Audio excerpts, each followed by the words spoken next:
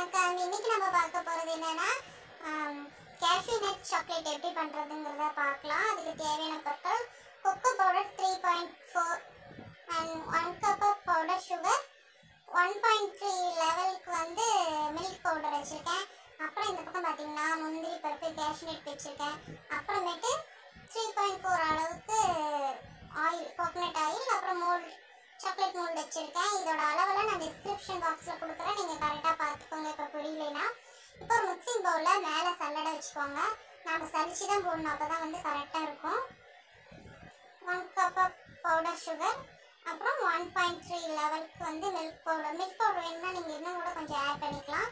அப்புறமேட்டு பார்த்தீங்கன்னா cocoa powder வந்து த்ரீ பாயிண்ட் ஃபோர் லெவல் அளவுக்கு கொக்கோ பவுடர் போட்டு இப்போ நல்லா நம்ம சலிச்சிக்கலாம் எப்பயுமே வந்து கொக்கோ பவுடர் நல்லா ஒட்டிக்கும் அதனால அதை வந்து சுத்தமாக க்ளீன் பண்ணி எடுத்துக்கோங்க.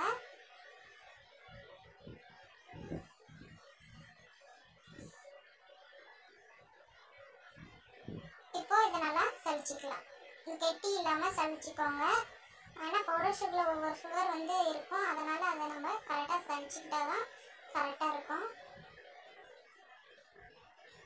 பாருங்க இந்த கட்டி வந்து நீங்கள் எதுவும் பண்ணாமல் அப்படியே எடுத்து வச்சுருங்க.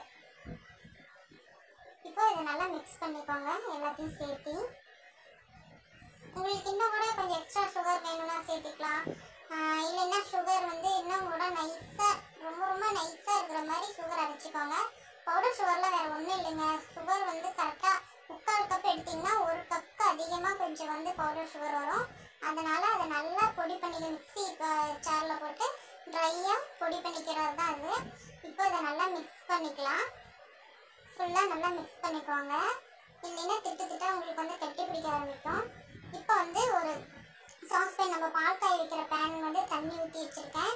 அதை வந்து கொஞ்சம் அப்படியே மிதமான சூட்டில் அப்படியே வச்சுக்கோங்க.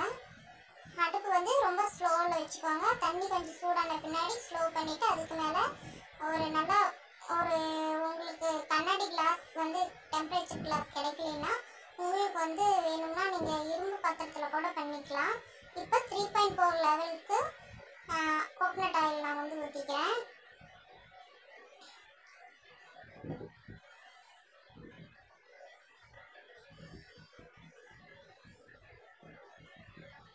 கடைசியில் உங்களுக்கு பார்த்துட்டு வேணும்னா எக்ஸ்ட்ரா கோகனட் ஆயில் கூட நீங்கள் ஊற்றிக்கலாம்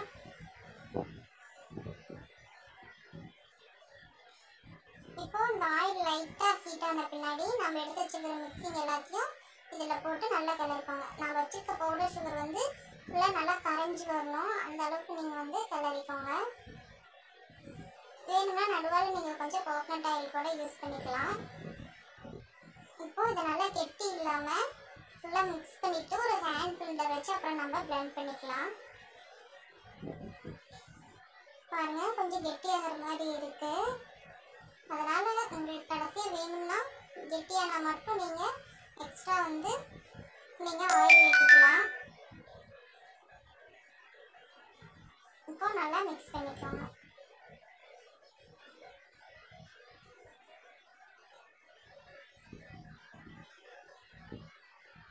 நல்லா இந்த பவுடர் சுகர் கரையிற அளவுக்கு நீங்கள் நல்லா மிக்ஸ் பண்ணிக்கோங்க.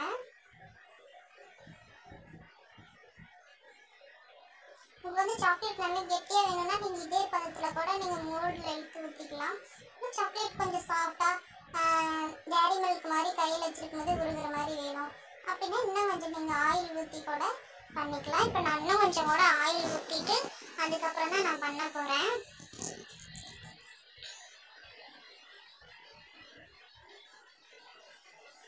இப்போ நம்மளோட சாக்லேட் கிட்டத்தட்ட ரெடி ஆயிடுச்சு. ஒரு ஹேண்ட் பிளெண்டர் வச்சு நம்ம கரெக்டாக பிளெண்ட் பண்ணிக்க போகிறோம்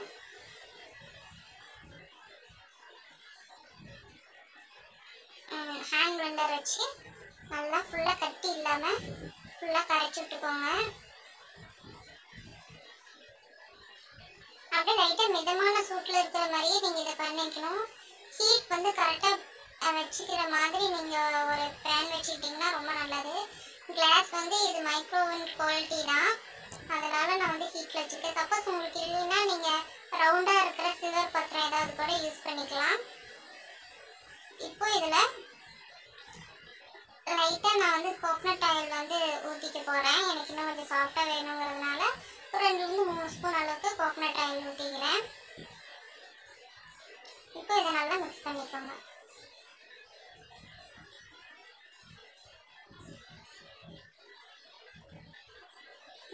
ரெண்டு டைப் ஆஃப் மோல்டில் உங்களுக்கு நான் செஞ்சு காமிக்க போகிறேன் இப்போ இது மிக்ஸ் பண்ண பின்னாடி அடுப்பை ஆஃப் பண்ணிவிட்டு இது கீழே இறக்கி வச்சுக்கோங்க.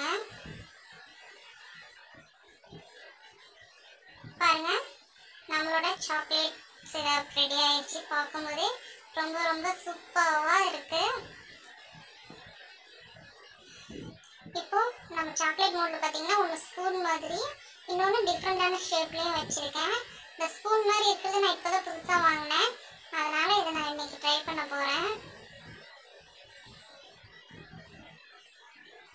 கரெக்டாக எடுத்து அந்த அச்சில் கரெக்டாக ஊற்றிக்கலாம்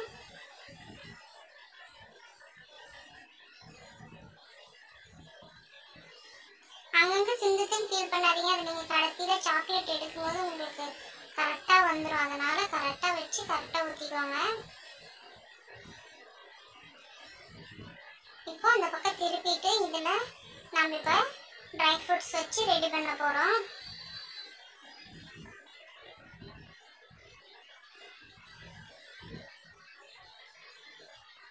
இதில் பாதி அளவுக்கு மட்டும் சாக்லேட் ஊற்றிக்கோங்க சப்போஸ் அதிகமாக போயிடுச்சுன்னா விட்டுருங்க. அதில் ட்ரை ஃப்ரூட்ஸ் வைக்க வேண்டாம். இப்போ எல்லாத்துலேயும் நம்ம பாதி பாதி அளவுக்கு மட்டும் ஊற்றிக்கலாம் பாதினா பாதியோட கொஞ்சம் கம்மியாக இருக்கிற மாதிரி சாக்லேட்டை நீங்கள் அதில் ஃபில் பண்ணிக்கோங்க.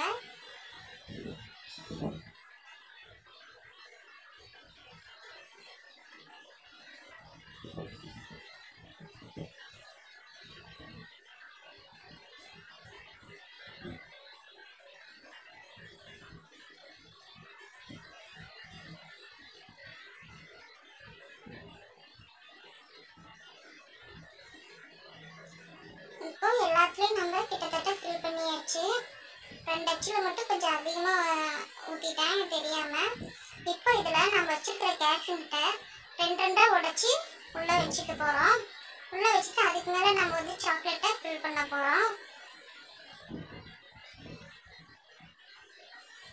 பாருங்கள் இந்த மாதிரி உங்களுக்கு எந்த ட்ரை ஃப்ரூட்ஸோ இல்லை ஜாம் ஏதாவது பிடிச்சிருந்தா நெக்ஸ்ட் டைம் உங்களுக்கு ஜாம் வச்சு எப்படி பண்ணுறதுன்னு சொல்கிறேன் ஜாம் வந்து இந்த மாதிரி பண்ண முடியாது. அது வந்து இன்னும் கொஞ்சம் வேறு மாதிரி மெத்தடாக இருக்கும். எல்லாத்துலேயுமே ஒரு ரெண்டு ரெண்டு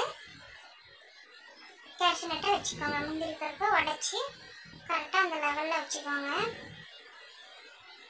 ரெண்டு இல்லை மூணு இல்லை கொஞ்சம் பெருசாக இருந்தால் இன்னும் கூட கொஞ்சம் எக்ஸ்ட்ரா ட்ரை ஃப்ரூட்ஸ் நீங்கள் வந்து வச்சுக்கலாம்.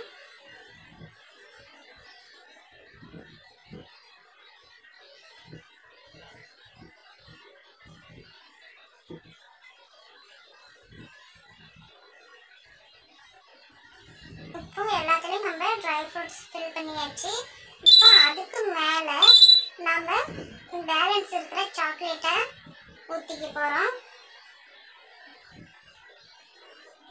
அவ்வளோதாங்க இது பெரிய விஷயம் அவ்வளோதான் தட்டு வந்து கரெக்டாக சமமாக இருக்கிற தட்டாக பார்த்துக்கோங்க. நான் வந்து கொஞ்சம் மேலே கீழேயுமா இருக்காதனால உங்களுக்கு ஒரு பக்கமாக சாக்லேட் போகிற மாதிரி தெரியுது. நல்லா சமமாக இருக்கிற தட்டு ரொம்ப ரொம்ப முக்கியம். அந்த மாதிரி வச்சுக்கோங்க. எல்லாம் ஒட்டின மாதிரி சாக்லேட் இருந்தாலும் கடைசியாக நீங்கள் பிரிக்கும் போது அது தனித்தனியாக வந்துடும் அதனால் ஃபீல் பண்ண வேணாம். அந்த கேஷ்நட் தெரியாத மாதிரி சாக்லேட் ஊற்றிக்கோங்க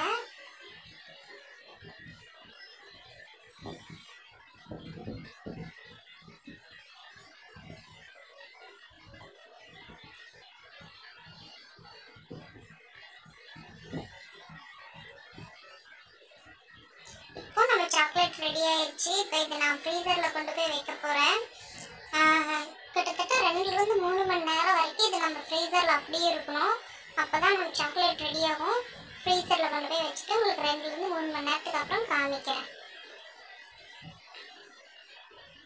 பாருங்கள் இப்போ நான் பேலன்ஸ் மேலே இருந்ததெல்லாம் தனியாக எடுத்து வச்சுட்டு இப்போ அதை நான் எடுக்க போகிறேன் பாருங்கள் ஸ்பூனில் செஞ்ச சாக்லேட் ரொம்ப ரொம்ப கரெக்டாக ஸ்பூன் மாதிரியே இருக்குது பார்க்கவே ரொம்ப ரொம்ப க்யூட்டாக அழகாக இருக்குது குழந்தைங்களுக்கு இப்போ இது எல்லாத்தையும் ஒவ்வொன்றா வெளியே எடுத்துக்கலாம். வீட்லேயே வைக்கிறதுனால நான் வந்து எக்ஸ்ட்ரா இருக்கிறதெல்லாம் நான் எடுக்காம வைக்கிறேன். சப்போஸ் உங்களுக்கு வந்து வீட்டில் இல்லை நான் இங்கேயே ஷாப்புக்கு கொடுக்குற மாதிரி இருந்தால் எக்ஸ்ட்ரா இருக்கிற சாக்லேட்லாம் நீங்கள் எடுத்துகிட்டு அதுக்கப்புறம் கூட வச்சுக்கலாம். ரொம்ப கெட்டியான சாக்லேட் ரெடி ஆகிடுச்சு இப்போது பார்க்கவே ரொம்ப ரொம்ப நல்லா இருக்கு இப்போ நம்ம கேஷ்நட் சாக்லேட் எடுக்கலாம். பாருங்க இது ஃப்ளவர் மாதிரி ஷேப் அது. பார்க்கவே ரொம்ப ரொம்ப நல்லா இருக்கு இது எல்லாத்தையும் தனியாக எடுத்துட்டு இப்போ உங்களுக்கு காமிக்க பாருங்க. ரொம்ப ரொம்ப சூப்பரான சாக்லேட் ஹோம்மேட் சாக்லேட் ரெடி ஆயிடுச்சு. குழந்தைங்களுக்குலாம் நம்ம இந்த மாதிரியே கொடுக்கலாம். பாருங்க உள்ள கேஷ்நட் இருக்கு. அவங்களுக்கு ரொம்ப ரொம்ப பிடிக்கும். வீட்டில் செய்யறதுங்கிறதுனால அவங்களுக்கு ரொம்ப ரொம்ப பிடிக்கும். என் சேனலை மறக்காம சப்ஸ்கிரைப் பண்ணுங்க. இந்த வீடியோ பிடிச்சிருந்தா லைக் பண்ணுங்க.